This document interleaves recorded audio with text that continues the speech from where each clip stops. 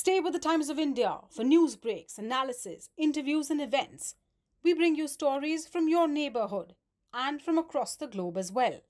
Subscribe to our YouTube channel. Hit the like button and press the bell icon so you don't miss any of our videos.